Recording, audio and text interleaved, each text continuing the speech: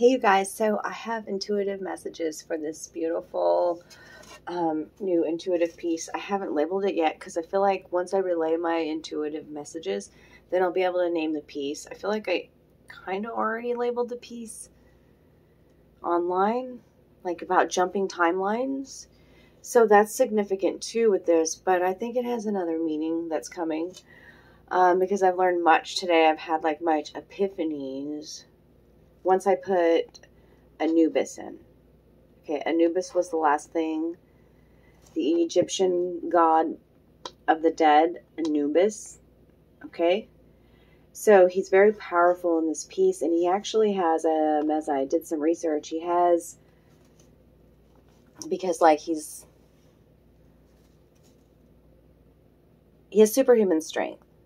Okay, like he's he was in charge of like embalming and that kind of thing too. And like accompanied accompanied kings um, through that death rebirth process which when i read that because i didn't know much about anubis i very much feel like egyptian roots though are coming out for so many of us. Ties to that Egypt, egyptian and atlantis roots. But like for him to come out when I saw him in the shadows, um, when he came out, it was it was super powerful. And to see this king, I, I can get it close enough, right here, you know, accompanying him into the afterworld. It was a beautiful, uh, symbolic. Um, revelation I had in this piece, which helped guide me to figure out so many other things. Okay, so like it tells me that we're we're all connected to these. You want to call them spirit ascended masters. You know, I'm winking and crinkling my eye when I say ascended masters. Yeah, especially the creative and powerful ones. You know, where we can ascend the limitations of this world, of this earthly plane, and remember truly, you know, our ancestors, how ancient we are, and our magics, our power again, because he has superhuman strength, which tells me this soul here has superhuman strength to be able to split a mountain, to split a mountain in two with their light. She is the light, by the way. And yeah, oh, I, that just sounds like, oh, okay of course she's the light. You know, don't all, like, it kind of sounds so cliche, right? But I'm going to show you how she's the light. There's so many things that come, like, my, the, so many puzzle pieces have come together for me today. Um, too, once I put in that, uh, that's a vulture, okay? Vulture. So nothing is wasted, right? That's the vulture spirit. Everything that we learned from the past is helping us today, too. Everything's recycled. Rebirth. That's what the vulture speaks to. Death, rebirth. Death, rebirth. Death, rebirth. Both came last. Okay?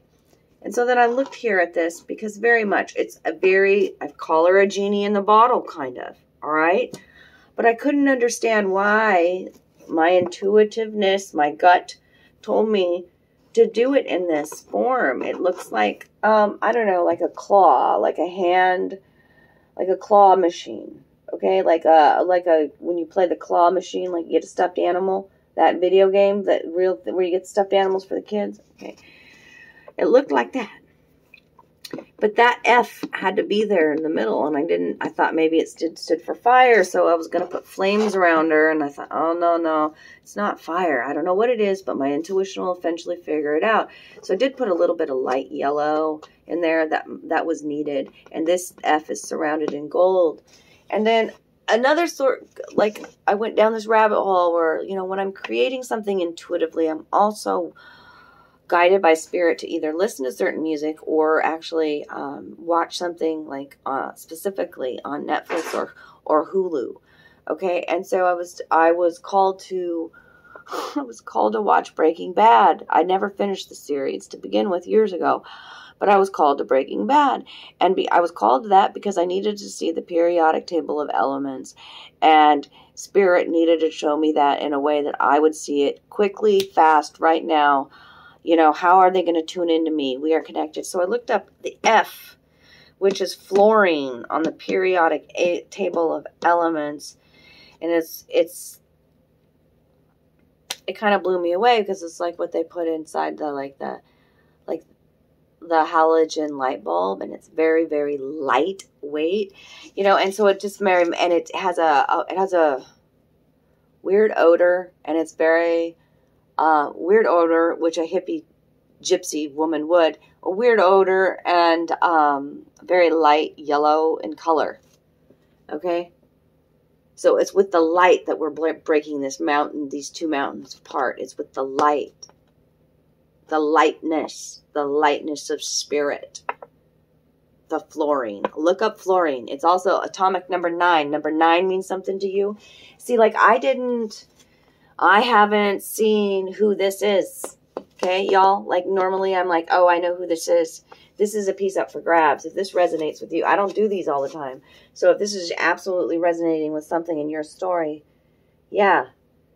Okay, it's for sale. All right, I'm I'm letting this one go that way because it's it's very powerful. I've never channeled Anubis, and when I did, it was I don't know, like I get very mad scientisty like, but it, but when I'm channeling, it's it's odd. It's like a roller coaster of craziness, and I just very much felt like Anubis always in it. The pictures here, just um, besides the jackal head or whatever. Sometimes I see it as a wolf, by the way, not just a dog, not just a jackal. But then these this this robing or whatever, this gold right here, and very much when I was channeling that spirit, I very much felt the energy through my shoulders, like a triangle here, from my third eye to my shoulders, strong in the root of the throat. Yeah, I don't know how else to describe it. The full moon in this piece is very, uh, very, very significant too. When when you look at it closer, there's a man in the moon um, talking about cycles. I'm I'm relaying these messages on Friday the 13th, the 13 cycles of the moon. Okay. Um, it's, there's so many little uh, elementals coming out too. Turtle spirit, a little fae here, and tiger coming out. Tiger face, tiger, yeah, and the rabbit, which is this big, big portion right here the rabbit spirits. Things moving quickly, and now is a lucky time for you.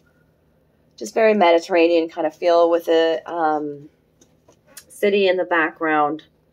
Okay, it, it very much reminds me of either Italy or you know Greece or something something there. Okay, Tunisia is coming through. Um,